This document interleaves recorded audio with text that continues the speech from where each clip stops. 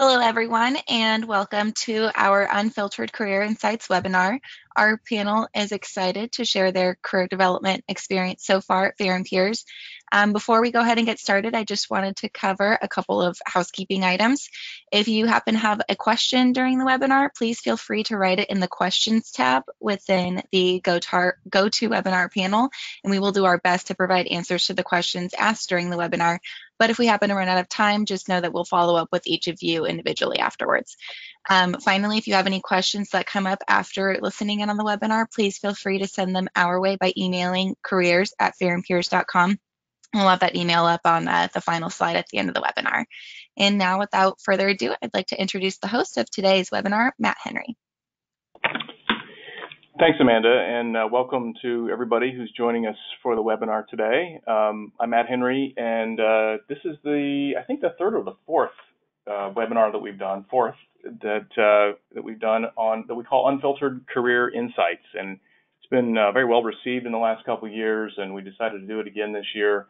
And uh, as you could tell from the from the introductory materials that we sent out, this one is focused, try to focus this a little bit on early opportunities to get involved in all the things that are going on here at, at Fehr and Peers. So we've got a, uh, a, distinguished panel here that you can see up on the screen, and uh, we will. Uh, what we're going to do is go through and ask them, each of them, to briefly introduce themselves, give you a little bit of background beyond their what you read on the bio for them, and then we will jump right into the Q&A and both the chat and we've got some questions that came in early. Thanks to those of you who who provided those uh, before the webinar. So uh, let's let's get started, and let's uh, Jesse, we're going to start with you. Tell us uh, a little bit more about yourself.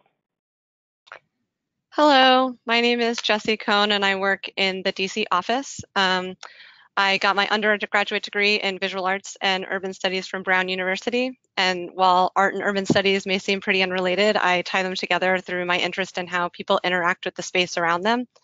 Um, after school, I spent a few years volunteering through AmeriCorps, doing Hurricane Katrina relief, um, interning with advocacy organizations like the Rails to Trails Conservancy and the Washington Area Bicyclist Association, and working in the public sector at the U.S. Department of Transportation Volpe Center in Cambridge, Massachusetts. Um, and through those experiences, I it focused my interest in transportation and decided to apply to planning school.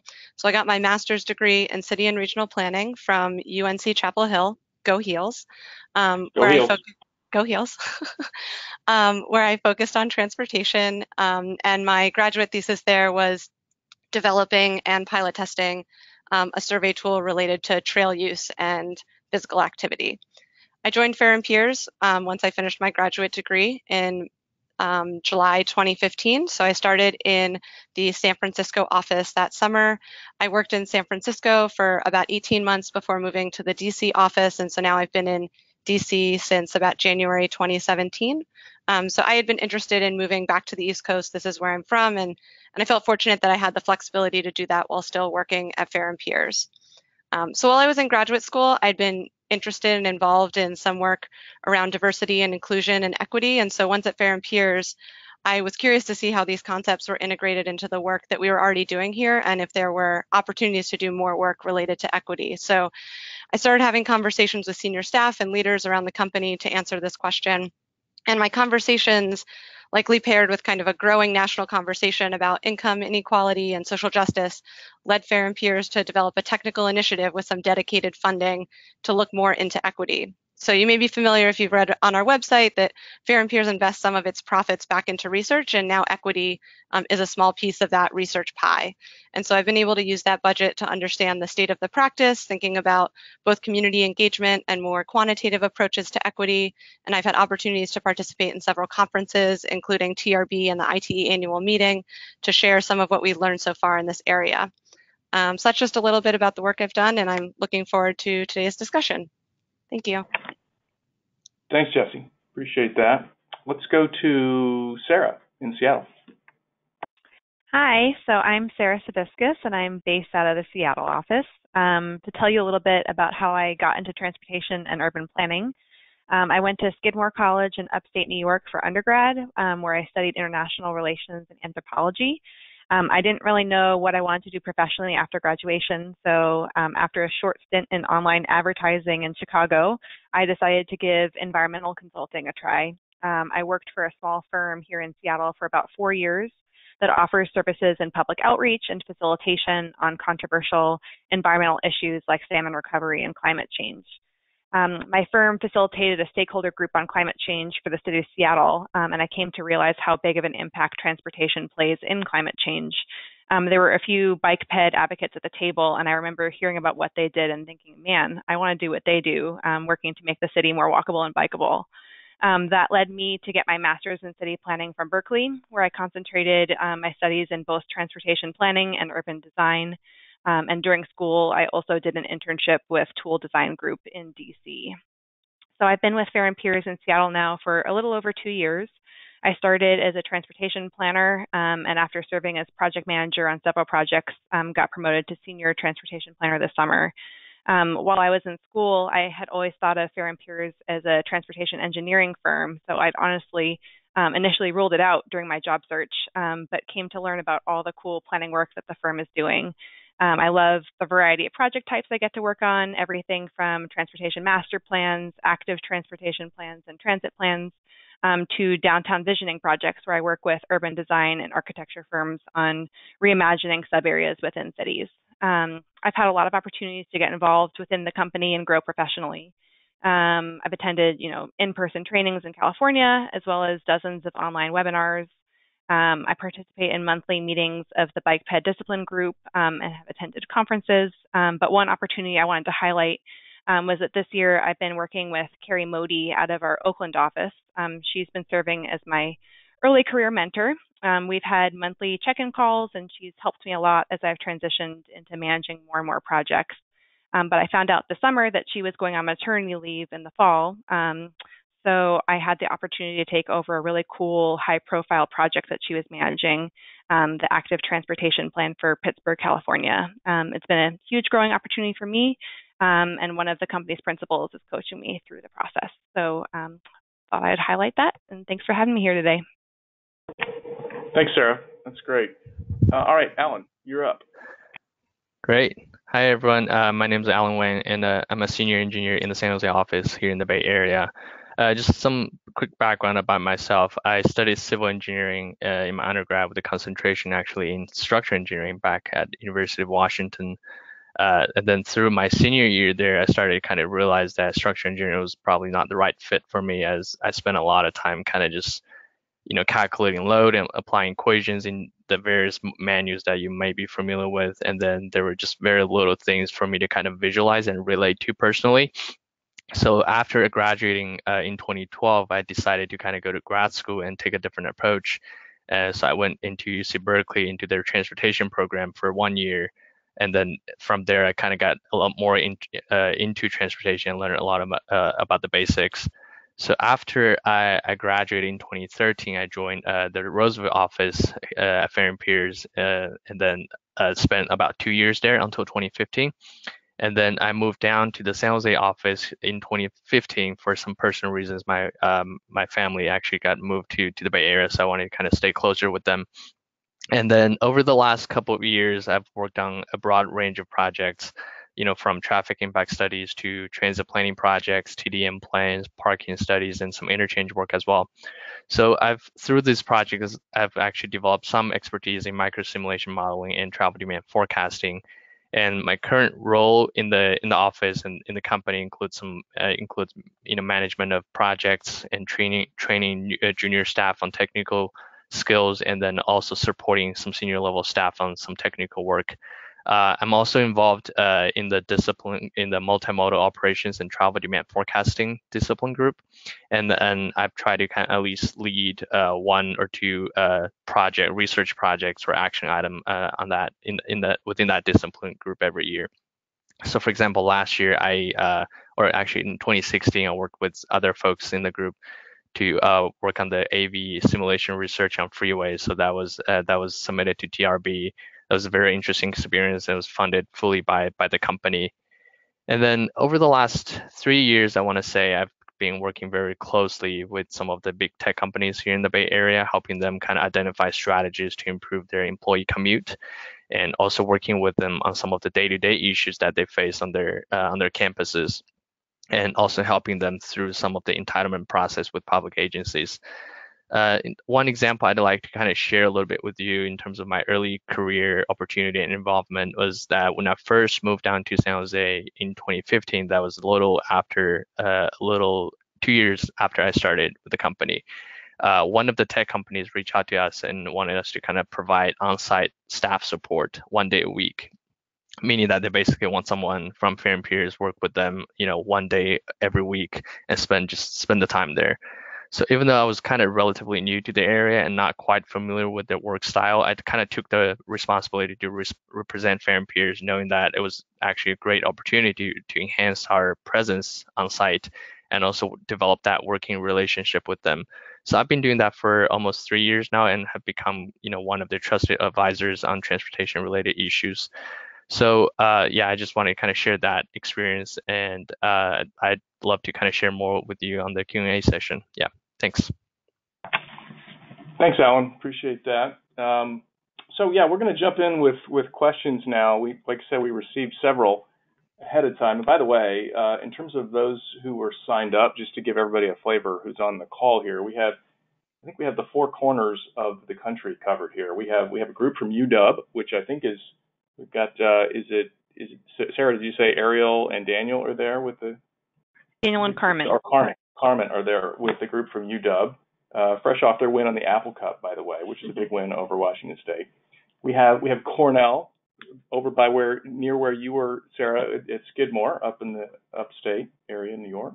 We have FAU, Florida Atlantic, down in the southeast, and then we have uh, USC, UCLA, we have uh, UCI down in the southeast, and of course we've got a couple of universities from, from DC area as well. So anyway, lots of lots of good geographic coverage around. So we're going to start with this first question uh, that came in earlier. Uh, what are the most essential skills a future planning graduate should possess for an effective start in transportation? So Jesse, you and Sarah both are are uh, are planning graduate uh, graduates. So maybe which which of you would like to take this one? Jesse, you want to start? Sure, yeah, I can ahead, start. Jesse, Let you build on what I what I say. So, um, one of the most essential skills I think is critical thinking, and so being able to think through complex problems is really important, but also being able to assess if your results or analysis make sense. Um, so if, say, you've done some sort of analysis and the results aren't as, as expected, I think a really important skill is being able to figure out why that is. Um, did you make assumptions that maybe weren't accurate? Um, was there some reason why the data was incorrect? Or is there maybe some underlying reason why the results just defy expectations? So I think it's important for you to be able to, to pull out the key story from the work that you're doing. Um, and especially as we're starting to work with more big data and larger robust data sets, being able to take what you're finding in numbers and translate it into key findings and key takeaways is really important. Um, and from a more hard skills perspective, I'd say that you can't go wrong with knowing your Excel. So, um, and make sure you're confident with different formulas, especially thinking through if statements um, and like sum if, count if, and things like that, because I think we work in Excel a lot here at Fehr and Peers. And just to build on that a little bit, I think being a strong writer is key. Um, I had one professor that stressed that concise writing is the best writing. So being able to articulate your points clearly and concisely is key in the work that we do. Um, and also being able to distill really complex topics into lay terms for a public audience. We do a lot of work with um, public outreach and going out to the community, and so and a lot of what we do is really technical. So being able to distill that into um, understandable terms um, and I think also just being extremely organized. Um, if people haven't worked in consulting before, it can be hard to juggle multiple projects and commitments. Um, so that's something that I think is really useful too. And then kind of building on what Jesse said with Excel, a lot of the technical softwares can be learned on the job. Um, but I found it really helpful to know some GIS coming into the work here. Yeah, I was going to mention GIS, Sarah. I don't know if you or Jesse had that skill coming in, but it seems like a lot of the uh, planning grads come in with that kind of gives us a sense that they have some analytical skill that the, because a lot of the work we do is planning oriented, but it, there's an there's an analytical element to the to the vast majority of what we do. So I think it's I, I appreciate the fact that you, you've emphasized emphasized that. Uh, so let's move on then to the next question. Uh, Alan, I'm going to turn this one to you. Uh, what are the typical tasks for an entry level engineer or planner? And, and, and then there's sort of the second question is what does it take to move up? But why don't you, well, let's start with the, the typical tasks. Yeah, that sounds good. Uh, I'd say in terms of entry level planner engineers, I'd say they're often brought onto a broad range of projects in the first year or so, you know, depending on where, where the needs are in, in the office. Uh, but if I have to kind of say the specific task, I want to say Excel is definitely one of the common uh, tasks that we kind of, you know, work with the en- entry level engineers and planners on. Uh, varying, you know, it could vary from data processing or review traffic counts, parking data that we got from a vendor, or performing some sort of a technical calculation that was already developed or set up in a workbook or it could be a case that we need someone to kind of come in and create their own work you know spreadsheet to kind of set up a workflow to answer to answer a, a question from you know to, to the client. And other tasks other tasks could involve in you know uh, parking studies uh, traffic analysis traffic impact analysis where you might be plugged into you know running some sync analysis generate level service reports and level service results and that you know all all kinds of studies could involve a combination of technical uh, analysis with uh, with writing in there because uh, a lot of times with the deliverable for a project could be a you know a technical memorandum or a more formal report but those could be more common tasks for entry level staff members. Great great. And then uh, the, the, supplement to that uh, was what does it take to move up? Sarah what do you what do you what would you say to that one?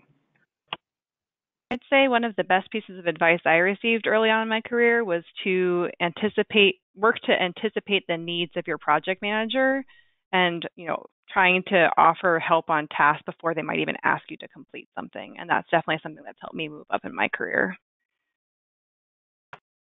Good, good. Yeah, Jesse, anything to add on that one? Yeah, another piece of advice that I would add, um, similarly that I was given early in my career, is to ask questions. So this is a firm of nearly 300 people. So when I was a new hire and occasionally struggling to answer a problem, it's likely that someone else in the firm has already addressed this issue before or addressed something similar. So I think just knowing how to use your resources, um, and Fehr and Peers has a breadth of technical resources to just learn um, learn how to address things rather than rather than spinning my wheels when I don't know the answer. Did, did you have any any uh, I wouldn't say fears, but maybe hesitation about is it okay just to pick up the phone and call somebody? And, and if so, how did you get past that?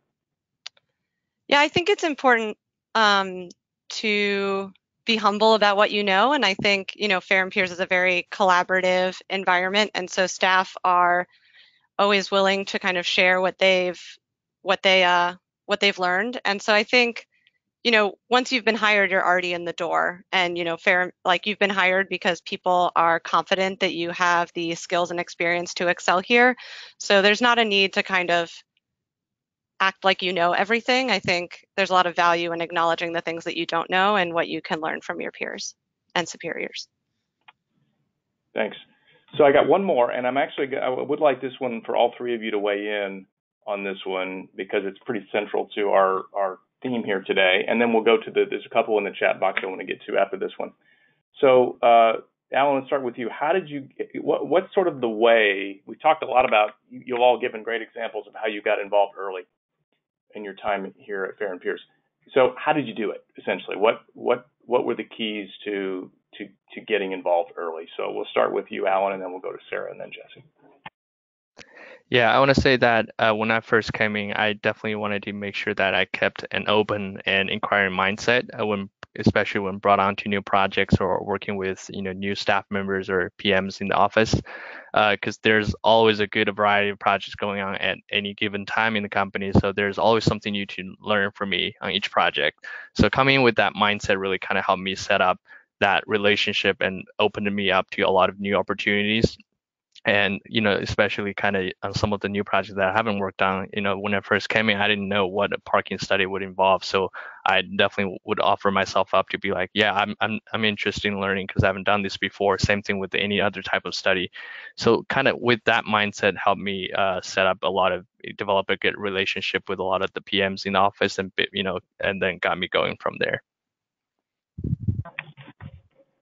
What would you add to that sarah so um, coming into the Fehr and Peers, I knew the discipline groups were something that was really unique um, and wonderful about the company. So at the beginning, I listened in on a few of those calls and picked the ones that I wanted to actively participate in every month. Um, and I've made sure to sign up to help on at least one discipline group initiative each year. Um, another thing that I did was I identified senior staff members company wide that were working in areas that I was interested in. So when I came down to California for trainings, um, I set aside time on their calendars to introduce myself over coffee. Um, and these informational conversations had led to numerous leadership opportunities for me um, over the years. Again, were there is there any hesitation for you, or is it just more your personality where you're pretty comfortable saying, "Hey, I don't know you, but I'm Sarah, and I'd like to have coffee with you"? Yeah, I think it's a little bit of my personality, um, yeah. but also is you know it, there's a lot of people and a lot of great resources, and I just wanted to you know put a face to the name, and um, everyone was really friendly and willing to meet me, so um, I would encourage others to do the same. Great, good for you. How about you, Jesse? Um, yeah, there's a few things I would add. I'd say, you know, taking advantage of opportunities as they arrive. So often during staff meetings, project managers or senior senior staffs um, would mention upcoming projects or proposals or a desire to write a Jive post. So Jive is our, our internal wiki at Fehr and Peers um, to write a Jive post about different topics, such as recent grant funding or recent news articles. And so when I was interested in those topics, I would volunteer, and that would give me an opportunity to get to know new project managers that I maybe hadn't worked with before, and also to learn about new emerging topics. Um, in addition to volunteering for these opportunities, I'd also say that you can create your own opportunities here at Fehr and Peers. So getting able, being able to kind of start and lead the equity initiative has been a great example of that. Um, just in general as if as a new hire if you're reading about something that you don't think other people are talking about yet or is an emerging topic you know feeling feeling comfortable to kind of initiate this new conversation about a new topic as a way to really network with people around the company that share your interests and learn from them. Um, and finally i would just add that you can pull and share from your previous experience either in school or from previous jobs so just because you're a new hire that doesn't mean that you don't have a lot to bring to the table. So being really open about, you know, what's your expertise and what have you really done a deep dive in either in your graduate studies or in previous work, because that that can add a ton of value to the work that we're doing here that may be something, you know, Fehr and Peers hasn't done a lot of work in. Great. Thanks, Jesse. So we're going to go to the chat box now. We got a few questions here. And uh, the first question says, Alan and Jesse both mentioned research in the company. Are the researchers also employees, such as planners and engineers, or are the researchers separately recruited? The short answer to the question is yes, they are planners and engineers. In fact, uh, we don't really have separate research group. It's we, we, we like to refer to it as a culture of innovation, which which in our world means everybody's involved to some degree in in research development and and and there's lots of different ways that that happens as you've heard some examples here today but it's one of those things where everybody's engaged in it and it's not a separate group or they're not separately hired so uh, anything anybody wants to add on to that one uh, this is Jesse. I would just add that our research is research that informs practice. So while we do research, it's generally something that is related to kind of planning and implementation um, rather than something that's more high level or academic. Yeah, I, I, thanks for making that point. It's it's it's applied research and applied from a consulting perspective to our our clients. So that's a great point. We we leave the academic research to the academic academicians and universities, and ours is more focused on on uh, applied to our clients' most pressing problems for sure. So next up uh, is what what are some options to getting entry level job experience that is needed in the first planning engineering job. So this is one of those kind of how do I get started type questions uh, that that uh, that we hear a lot. So, um, Sarah, may, maybe you can uh, share some perspective on this one. Sure. So it's kind of like before your first job, how do you gain experience in the field? Yeah, exactly. And and I, okay. I'm going to guess online advertising probably worked for you, but may not be a common path for everybody. Yeah. So I'd say um, one of the things that was really effective for me was doing informational interviews. I'm a big fan of that. I didn't exactly know the specific niche within playing that I wanted to do. So before school, I did about 30 informational interviews with people in the city of Seattle.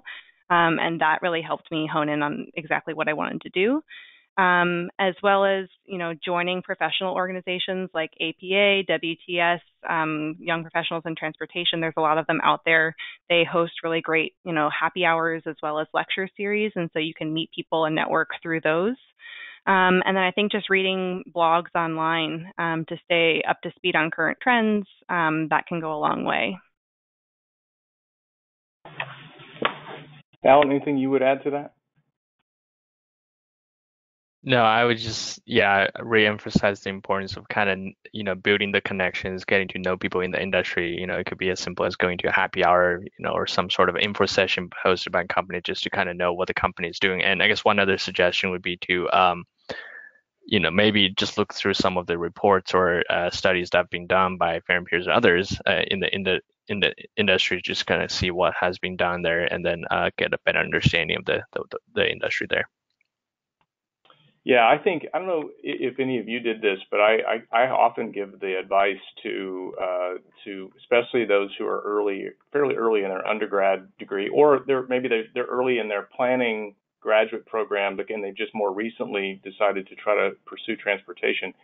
To go to those, like you say, happy hours, Alan, or or just the events at a at a YPT, or maybe it's an APA or an ITE meeting or some one of the professional organizations, and just start networking I know it sounds a little like you're sort of you know networking into this this abyss, but but it, it actually works, right? It, it it gets you started. It usually connections and relationships start to form over time, and opportunities will will spin out of that. Um, just applying blindly to online job ads just often doesn't get it, especially if you're if you don't have a lot on the resume to, to start with. Another thing I'd say for networking that was really successful for me was looking at alumni networks. And um, most schools have a, a, list with, with email addresses. And so, um, you know, moving across the country um, from New York, for me, there were very few people that were alum in my in Seattle. And so I just contacted the few people that were here, and everyone was very willing to meet with me. Um, so, kind of using your alumni network, everyone's eager to help you. Good, good suggestion there. Um, so there's a question here. Uh, maybe Alan, what what is your thought on uh, data mining skill and programming appreciated for work at Fehr and Peers? I mean, again, the, the short answer is yes, but and, and, everybody seemed to mention Excel, which isn't isn't exactly data mining, but it it, it, it is indicative of to, to, to my sense, and I, I want to see if you agree with this that that just as more and more data becomes available, that skill set and related types of analytical skill sets, database management, uh, coding, all those things is becoming increasingly important. Would you agree yes. with that? Yeah, I would absolutely agree with that. We actually, uh, not me personally, but we have like my colleague here just sitting next door is uh, David Wasserman is heavily involved in a lot of the heavy data analysis and then that's one of the trend we're seeing here as well is you know as a lot of the data, data sets that we get in these days are you know way beyond what excel can handle so kind of getting that advanced programming or data analysis skill set i think is definitely becoming a more increasing need in the in the company yeah sounds good yeah we just in fact earlier this year we hired our first database engineer uh, with somebody that's not not traditionally a planning or engineering background, but comes with a heavy database uh, management background, and that's he's been really effective for us. So I, I, I can certainly see that going forward in the future. Uh, here's a, a, question about back to research, Jesse. How does research translate into your day-to-day job tasks?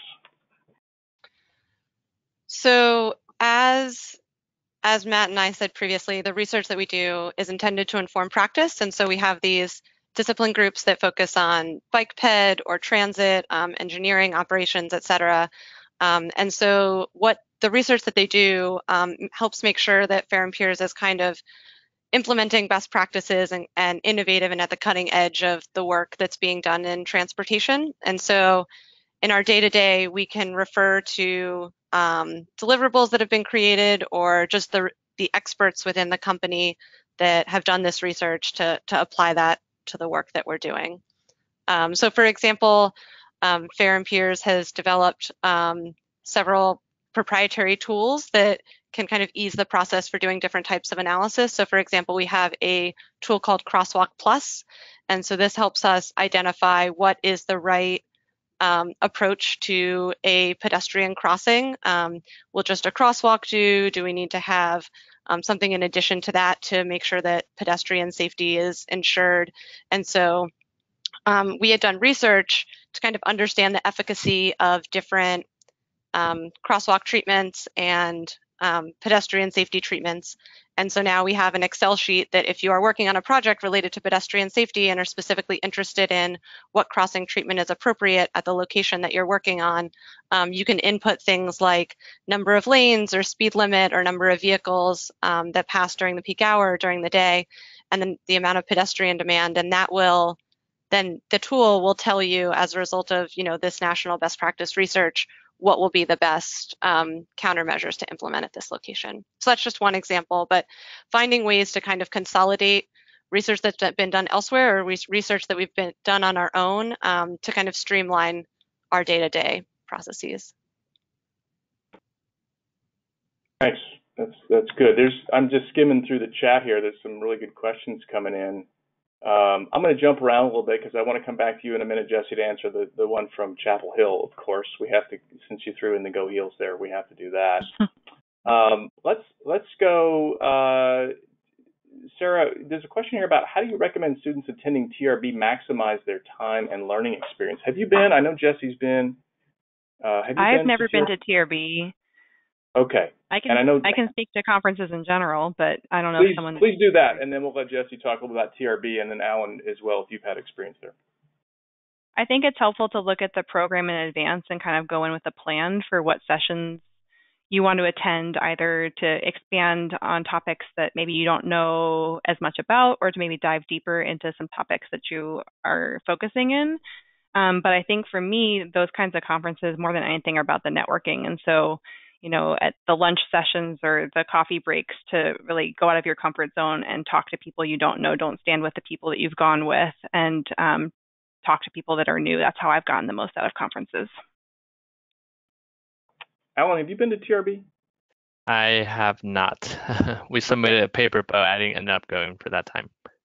Got it. Yeah, and then uh, I know, Jesse. So you, I know you're obviously there in DC, and you've been several times. So tell us your secrets on TRB. I don't know that I have TRB secrets, but um, for those of you who haven't been to TRB, it's massive and it can be a bit overwhelming. So I think the first thing I'd say is, you know, give yourself permission to take a break or, you know, skip some sessions. You're in DC, you can go to the Smithsonian. You can like really give yourself a little breathing room because I think it's a lot of information to take in and a lot of great resources to take advantage of. But you also don't want to be exhausted on day two and not be able to kind of carry through. Um, one of the recommendations I would say is to try to go to one of the Sunday workshops. So a lot of the sessions during the week are panel format, um, and there's not a lot of opportunities for discussion, but the weekend workshops are a bit longer and they give you an opportunity to maybe meet more people and and just be more actively engaged um, in in the content. Um, also during the week there are committee meetings. So in addition to there being panel sessions, there are committees that include um, academics and professionals. There are some Fehr and Peers staff on different committees as well, um, and representatives from public agencies. And so these committees can be very broad, as in like land use and transportation, and then they can be super, super specific. Um, and so if you have a certain interest, that's a really great way to get exposed to people who are working specifically in this area. Um, and you can get a sense of kind of what are the research priorities and things like that. Um, I'd echo what Sarah said about conferences in general, that they're a great opportunity to network. Um, so yeah, good luck and take advantage of the resources. Okay, Jesse, uh, here's the question from uh, Clay at, at, UNC Chapel Hill. He's interested in freight planning. Saw that Fehr and Peers has some considerable work in this area. How much of the staff is devoted to this area? And what generally is the expertise? So I said Chapel Hill because it was you. I don't know. I, I can answer this question if you don't feel as as uh, informed on the topic, but uh, I'll leave it to you. Uh, I'll start, and you can pick up where I leave off, I guess. Um, so Fehr and Peers has a few freight experts, mostly based in Southern California. Um, and I would say that a lot of the work that we're doing is out of those offices, and it has not yet become um, a big service for us in a lot of, in at least in DC or in the other offices, but it is something that we're looking into expanding. You can expand on that, Matt. Yeah, it's a it's a relatively uh, recent uh, expansion, I'd say, in the last five years or so for the firm, and it's rapidly growing. Um, as Jesse said, it's started in Southern California, and that's where the bulk of our work is at the moment. Although we also do quite a bit of freight work up in the Pacific Northwest as well, and and periodically in in other states uh, around the country as well. But it's in terms of the the uh, it's it's mostly planning and modeling type work in terms of the general uh, expertise. And in terms of how much of the staff is devoted to this area, it's it's not a big percentage right now. I would say it's probably in the five percent range. Uh, would be a rough estimate, but I, we don't really kind of track it all hyper specifically that way. But it's it's it's a budding but rapidly growing part of what we do. So uh, I think it's important to to make that distinction. All right, uh, great question here. Uh, it was great to hear Sarah mention WTS and also have two women presenters. Can you speak to the culture of empowering women in their careers at Fehr and Peers? Sarah, why don't we start with you and then see if Jesse has anything to add. That's quite a question. Um, I'd say looking around at the company, um, there are lots of females in leadership positions, and everyone has been very receptive to mentorship. Um, so, kind of several, everyone has an opportunity to um, within their first uh, year, I believe, join the early career mentor, after their first year, join the early career mentorship program. So I specifically sought out a female mentor. Um, and so, you know, we talked about all kinds of things related to my day to day job, but um, not necessarily um, specific to that. Um, so I'm drawing a little bit of a blank here, but I mean, there's tons of uh, females I looked up to here at the company. yeah, no, Jesse, I, I don't know if you great. want to expand on that. Yeah, I guess something I'd add also is that um, so every few years, Fehr and Peers has um, a leadership development forum, which is where we kind of pull staff from around the company to focus on an issue of importance. So um, in the past, that has been talking about work-life balance or talking about you know how we create a workplace that um, where millennials thrive and it kind of fits the millennial environment. And the one that we focused on for 2018 was diversity and inclusion. And so gender is one of you know the many ways in which Fehr and Peers wants to be diverse and promote inclusion. But um, we talked about lots of different ways to make sure that we are hiring from a diverse pool of candidates and that while they're here, there are opportunities for mentorship similar to what Sarah mentioned. Um, and just that we're creating a culture that, you know, our social events are not always focused on um, sports or not always focused on something related to drinking. And so that we're making sure that people who have a variety of different preferences and come from a variety of different backgrounds um, feel comfortable and feel like their um, culture and personality and their like authenticity of self can come through at the company.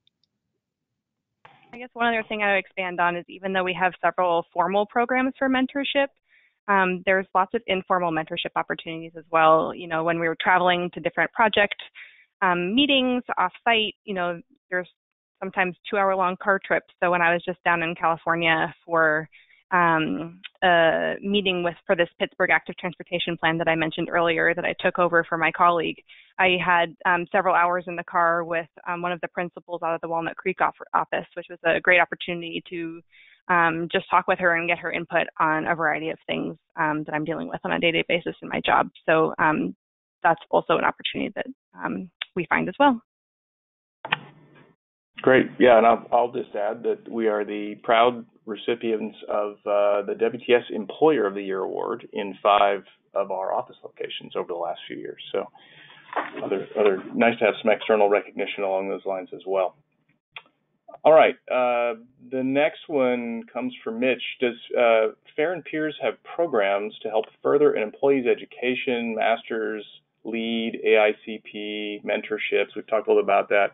Alan, you're you're in the the formal one-on-one mentoring program this year. Maybe you can talk a little about that as well as as the other uh, educational support programs. Yeah, absolutely. Yeah, I'm yeah, as Matt mentioned, I'm in the one-on-one mentoring program this year with the uh, another uh, with the associate in the Seattle office actually.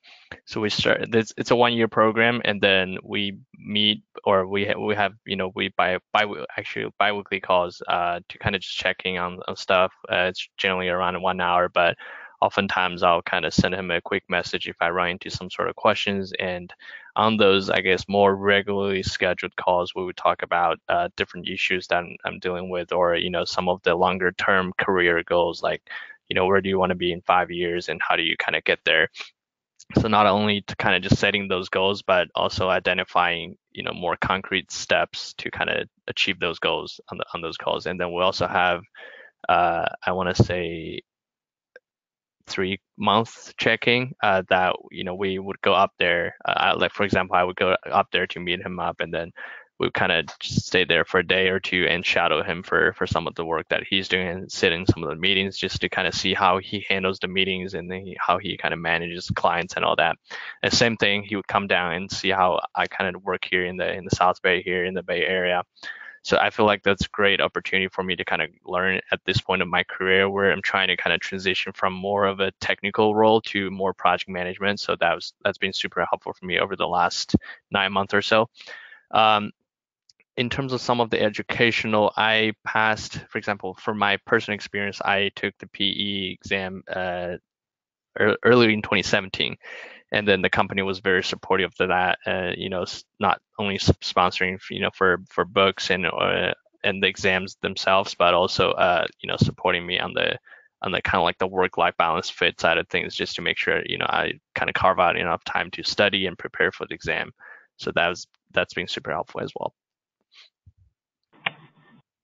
Anything you would add, Jesse?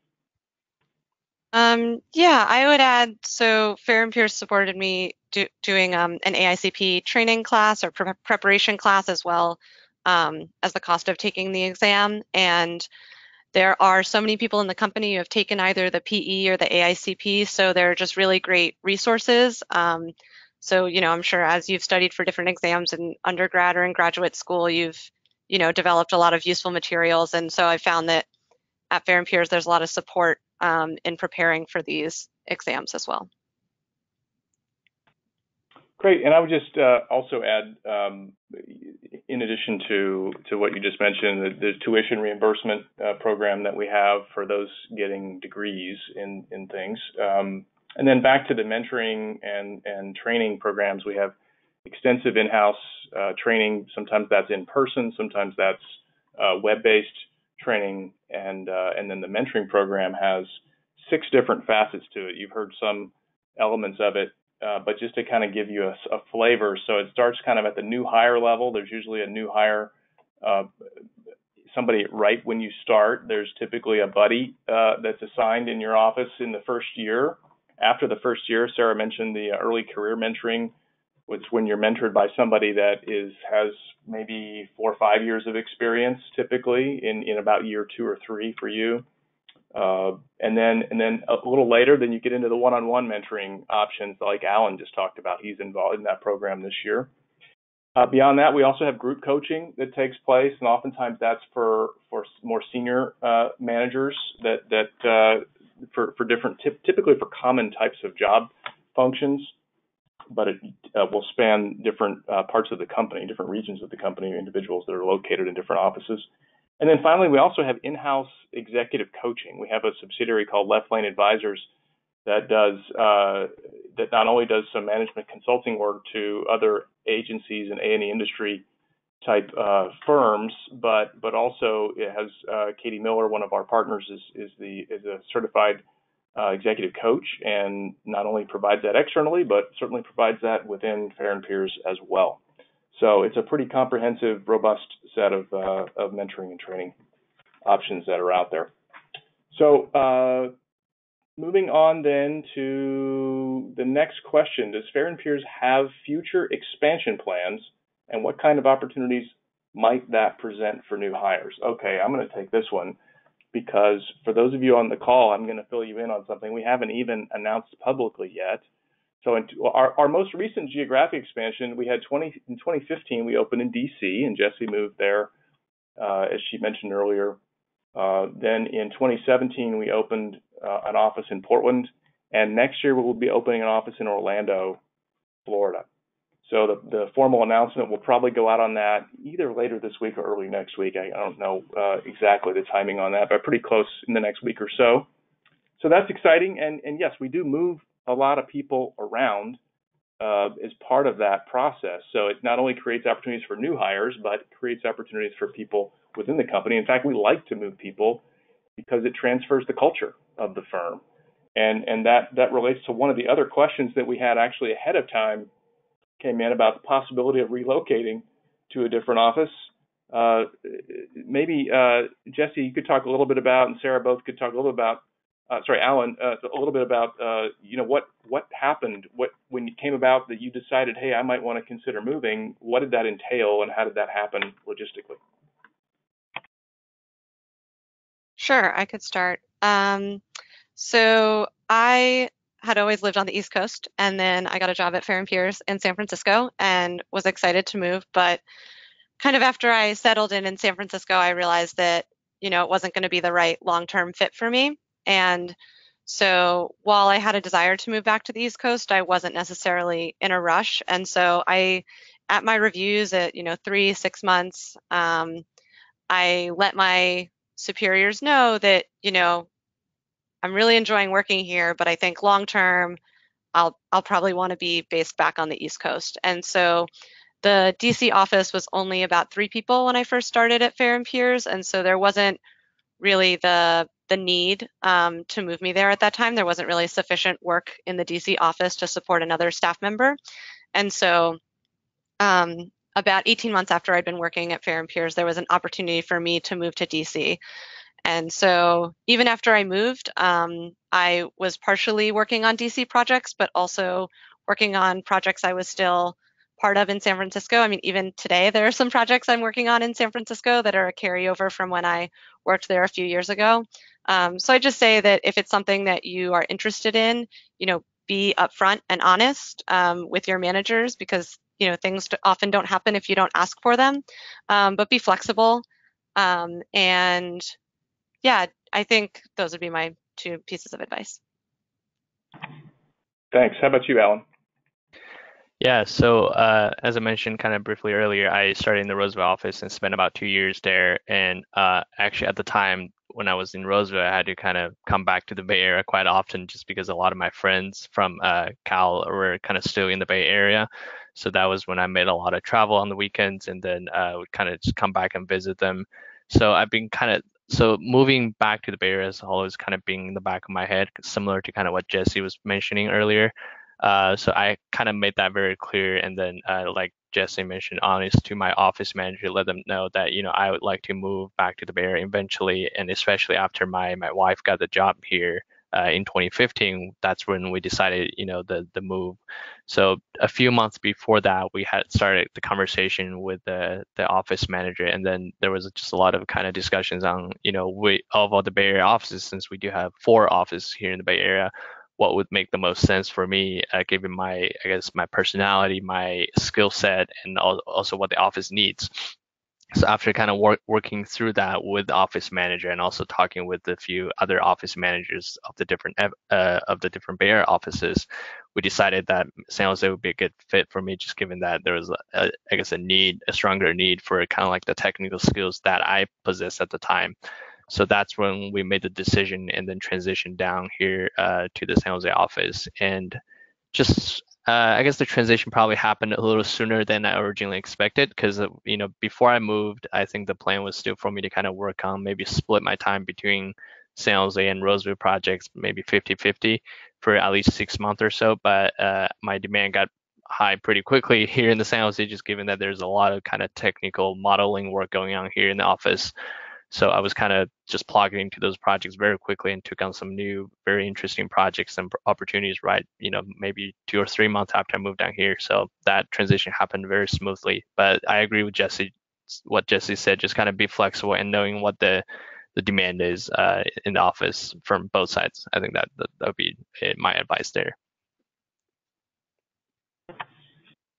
Thanks, Alan. Yeah, I'm just, uh, Tina O'Hara, our HR director, and I are sitting here talking a little bit about what percentage of the total staff at Fehr and Peers have worked and, and have relocated while working at the company. And I, I'm, I'm speculating, we don't have a hard number, but I'm speculating it's at least 20%.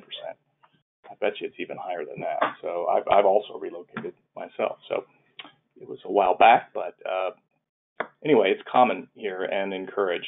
Um, where it makes most the most sense for people personally and professionally. So um, here's the next question. Uh, this year, Fehr and Peers had an interview at TRB. Will Fehr and Peers be doing the same again this year? And could you share some suggestions on it? So the short answer to the first question is yes. We will be doing uh, very similar type uh, process this year that we did last year. And uh, in terms of suggestions, Jesse, you're you're our TRB expert here on the panel.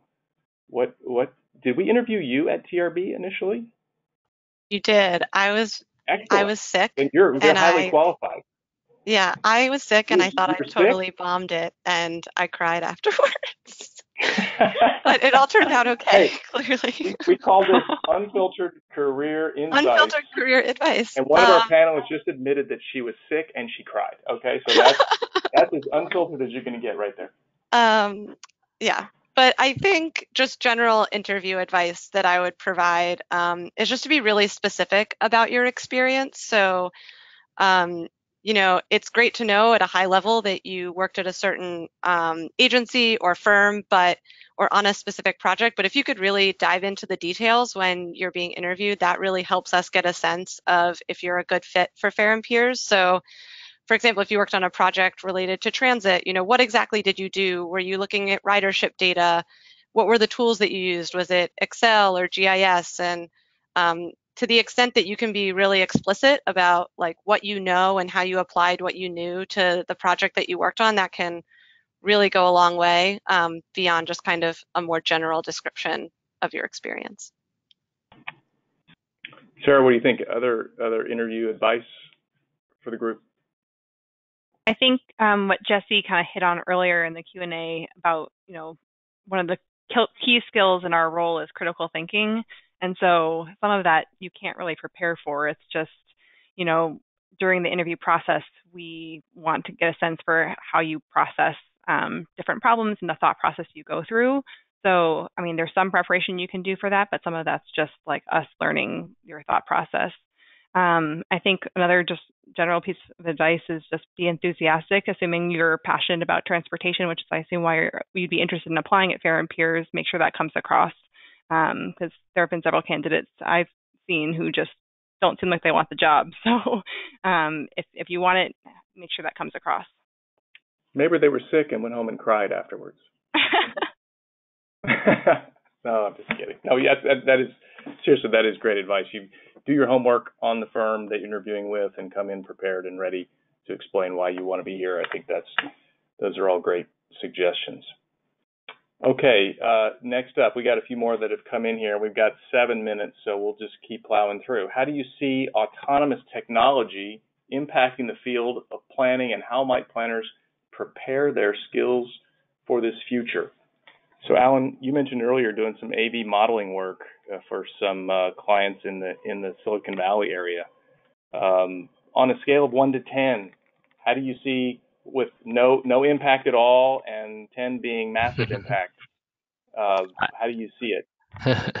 I want to say it's definitely between 7 and 10 based on our I guess initial research and observation uh, on some of the I guess other people's research here is it's going to be a pretty significant impact on both you know how people how people would travel in terms of their mode choice in terms of their travel behavior and as well as on some of the infrastructure side of things you know how do you kind of allocate curbside space how do you you know rebuild your infrastructure to accommodate other avs on the road which are going to most likely behave differently than how human drivers are driving today so i would say it's going to be a pretty significant impact and then um, and then it's it's a pretty big question in terms of how the planning world is accommodating that. I mean, we're doing a lot of research on that front uh, doing a lot of different modeling projects and research projects, uh, both internally for our DG discipline groups as well as externally, like Matt mentioned, for some clients here in the in the South Bay, uh, in the Silicon Valley. Uh, but in terms of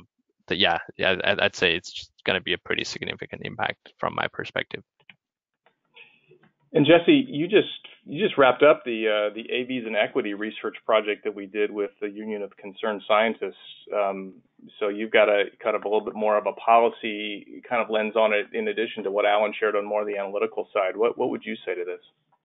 Yeah, I guess I think Alan kind of mentioned this, but you know, we're already I think AVs are already changing the way that we're doing our work, and it's already something that we're considering on a lot of our projects, um, especially because if you're thinking about building a parking structure today, you know, will that be necessary at the end of the life of that structure? So it's definitely something that's already affecting our work. Um, for the AVs and Equity Project, um, as Matt said, we were working with um, the Union of Concerned Scientists, which is a science-based nonprofit in the DC area. Um, and we were looking specifically at DC how autonomous vehicles would affect social equity. So focusing on areas in the DC region that have a concentration of low income households or households of color. Um, and so something I think that we're specifically working with cities now is how can we not just be technology takers as AVs come, but what are the policies that we need to put in place to make sure that the AV future um, is the future that we want and that we're not just exacerbating some of our existing transportation challenges, but using AVs to solve them. Great. Yeah, Sarah, do you have a, a quick thought on this one? Uh, nope, I think they, they covered it well. Okay.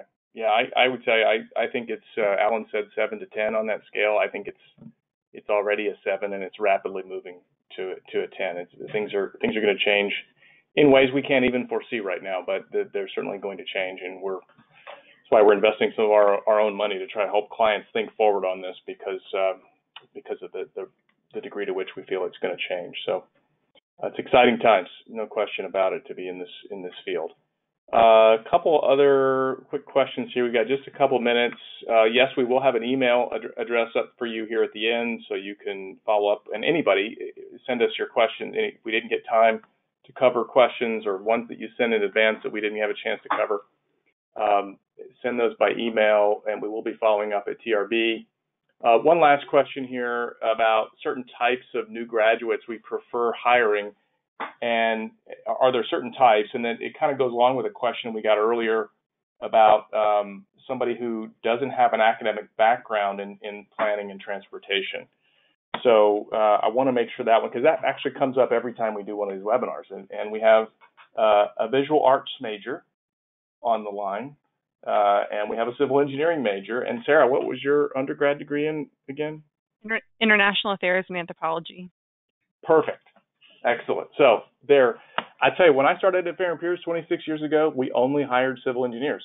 And it wasn't because we hated planners, it was, or any other majors. It was because there were no graduate planning, transportation planning programs. And so the fact that so many are out there now is really opened things up for us and able to diversify our workforce and bring better skills and services to our clients. So, um, I, I, anything? Uh, I guess this question's maybe the better better way to frame this last question is is how do you go about it? How did you get uh, in just a minute or two for Sarah and Jesse both? How did you get um, uh, from that undergraduate program into transportation?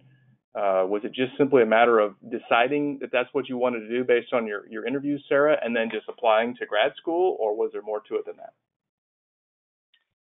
I mean, I think I figured out that I was passionate about transportation first. So it was kind of a, an evolving process from my previous experiences and learning that, yes, like this is the issue that I'm most passionate about. And I mm-hmm. felt like I needed to have a master's degree to do what I wanted to do to gain, you know, the technical skills and learning GIS and um, some other softwares, um, but then also just learning the content. I think maybe some people, I mean, because I, I, have colleagues here at Fehr and Peers who came from undergrad, so it's not that you have to do it that way, um, but I think that helped. Um, Good. Jesse, how about you? Yeah, so I think I first came to transportation because I really like to ride my bike.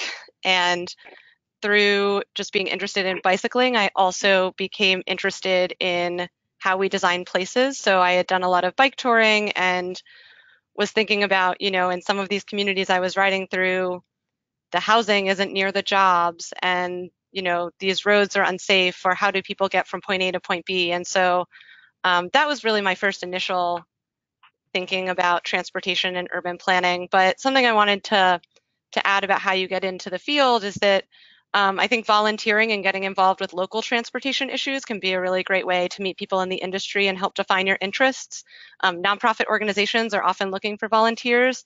When I was living in Boston, I I counted bikes at intersections um, as part of a bike census in like 2011 or 2012, and that was a an interesting way to think about. Okay, so how do how do people collect data about this and start to think more about how people were traveling. Um, and just one kind of more high level comment about if you're thinking about going into transportation, um, the way that I think about finding your dream job or the right career is that there's two questions you want to answer. And so one is, what are you interested in? And the second one is, how do you want to spend your day related to that interest?